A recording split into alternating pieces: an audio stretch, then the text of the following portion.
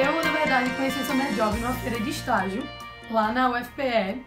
E eu já conhecia o César, né? Já tinha ouvido falar, eu mais ou menos entendia o que o César fazia.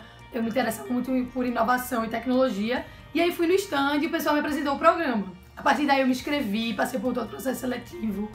E aí eu entrei, fiquei super feliz e tal, muito ansiosa, não sabia eu, como é que ia ser exatamente, porque eu era de uma área que não é, obviamente, envolvida com tecnologia. Eu me formei em engenharia civil, então é uma graduação que não tem claramente uma ligação com tecnologia e eu achava antes que deveria ter para participar do programa, quando na verdade não precisa ter nenhuma relação, pode ser um estudante em qualquer graduação.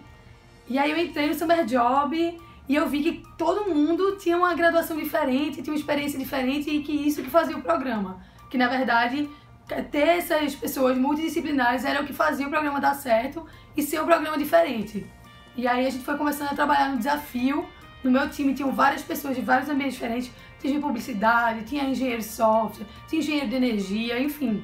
Tinham pessoas de várias áreas distintas que conseguiram pensar juntas em como solucionar o nosso desafio. O meu projeto, o que eu participei, foi o da Oi Futuro, junto com o César, que era justamente sobre empreendedorismo social, que a gente estava trabalhando juntamente com a comunidade aqui do Pilar, fica no centro do Recife, que a gente estava tentando entender o que é que a gente poderia aplicar ali dentro que fosse transformar a vida deles de uma forma fácil, rápida e de fato que tinha algum impacto na vida deles. Então, a nossa, o nosso maior desafio era entender o que é que é tecnologia, o que é que é inovação, o que é que é as pequenas mudanças que a gente poderia agregar à comunidade poderiam ter um resultado de impacto para eles.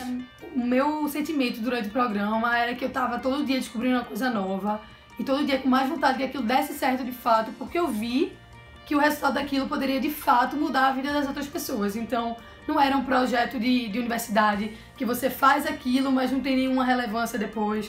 Não era algo assim da minha cabeça que não tinha nenhum fundamento. Então, era um projeto de verdade, um desafio de verdade proposto por uma empresa que estava com vontade de fazer aquilo, juntamente com o César e meus colegas do Summer, todo mundo com vontade que aquilo acontecesse e que de fato houvesse uma transformação na vida das pessoas. Então aquilo engajava o grupo, me engajava, é, todo mundo vinha com vontade de fazer de fato é, algo que funcionasse, que pudesse ser aplicado.